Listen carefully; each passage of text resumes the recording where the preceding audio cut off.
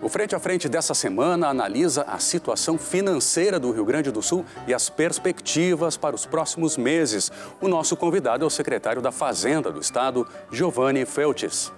Neste domingo, 11 da noite.